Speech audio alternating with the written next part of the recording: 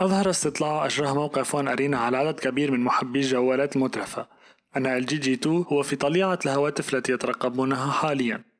G2 هو فعلا هاتف مدجج بالمواصفات لكن أيستحق كل هذا الترقب؟ لقد أمضيت أسبوعا كاملا أستكشف G2 وعدت لكم مع هذا التشريح الكامل بالإضافة إلى كافة مميزاته وحركاته على طريقة T3 المعتادة. فتابعوني حتى النهاية وكونوا حكمكم الخاص. من حيث المواصفات على الورق لم تترك LG خانة إلا وملأتها بأفضل ما في التقنية اليوم. المعالج هو أقوى معالج حالي أي Snapdragon 800 بسرعة 2.26 جيجا هرتز بطاقة الرسومات هي Adreno 330 والأسرع على أندرويد حاليا. هناك 2 جيجا بايت من ذاكرة رام وشاشة IPS خلابة بدقة Full HD وقياس 5.2 انش مع حواف فائقة النحافة. البطارية المبتكرة تدوم يوما أو أكثر وهناك نظام اتصالات 4G الكاميرا هي بدقة 13 ميجا بكسل مع نظام منع اهتزاز بصري ونظام الصوتي هو الأفضل في تاريخ الجوالات. أضف إلى ذلك إمكانية تصوير الفيديو بالعرض البطيء ووجود ثلاث ميكروفونات لعزل الأصوات. كما ترون انقطع من فمي الهواء ولم تنفذ مواصفات G2 بعد إذا مواصفات هذا الجوال جبارة فهل يحقق كل ما يعد به؟ من الخارج G2 مصنوع من مادة البوليكربونات الصلبة. قد لا يكون من المعدن لكنه مصنوع بجودة عالية جدا ويوحي بالصلابة والمتانة. وحدة الاختبار التي حصلنا عليها من LG أتت مزودة ب cover خارجي للحماية.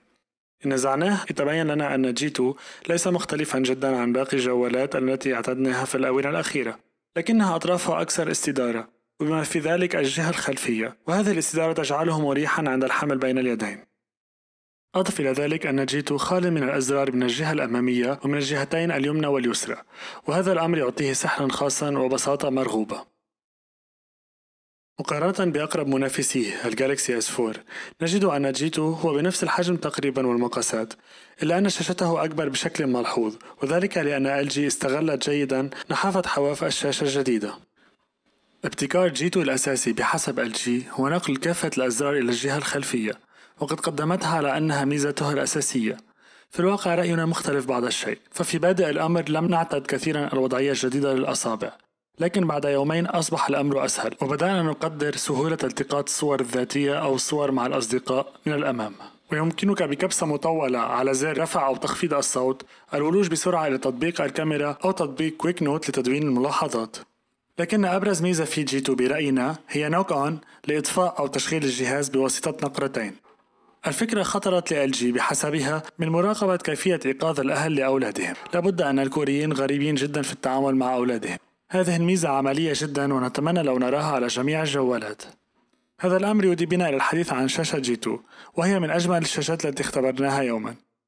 LG استخدمت موصلين لمستشعر اللمس بدل موصل واحد. الأمر الذي سمح لها بتنحيف الحواف لدرجة غير معقولة وبالاستفادة إلى أقصى حد من المساحة المطروحة أمام الشاشة. أضف إلى ذلك أن LG استخدمت شاشة IPS Plus بدقة Full HD بدل شاشة AMOLED. هذا يعطي نصوصا ثاقبة للغاية وصورا ممتازة وألوانا طبيعية. الشاشتين الوحيدتين القديرتين على منافسة شاشة G2 هما شاشة iPhone 5 وشاشة HTC One وكما ذكرنا سابقا فقد تمكن مهندسو LG بذكاء من حشر بطارية سعة 3000 ملي أمبير في هذا الهيكل النحيف.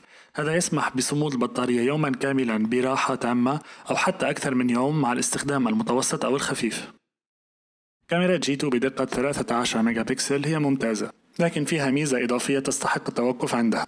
نظام OIS Optical Image Stabilization أو منع الاهتزازات أو التثبيت البصري للصورة. يسمح بتحريك الكاميرا داخل حجرتها بشكل يمنع تأثير الاهتزازات على الصورة.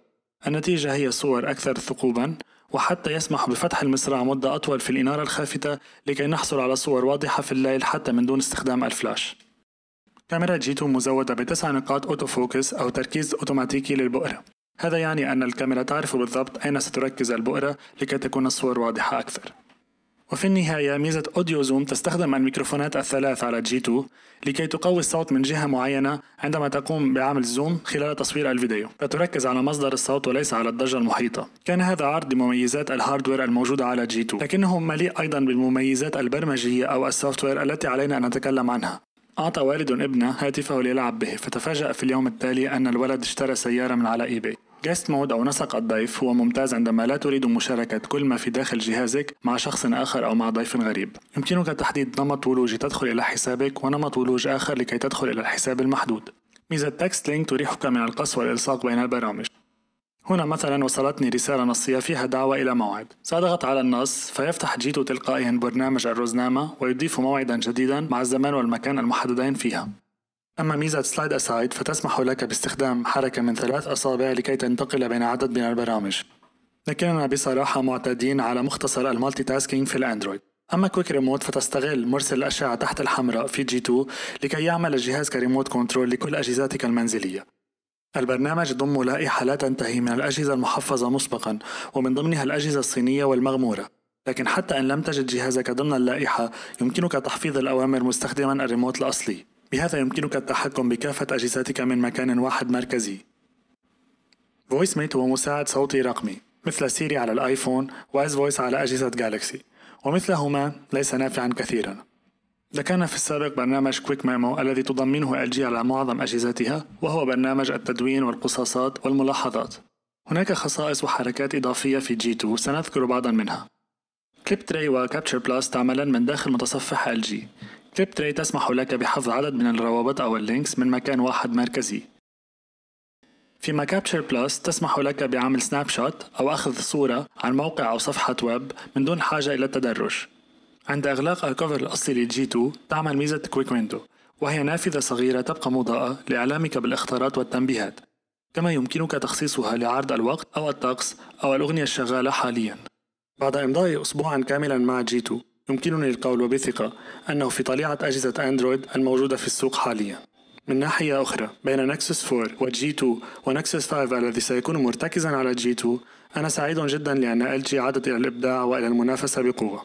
كان معكم سايمون من T 3 الشرق الأوسط أراكم في اختبار جديد عما قريب بإذن الله.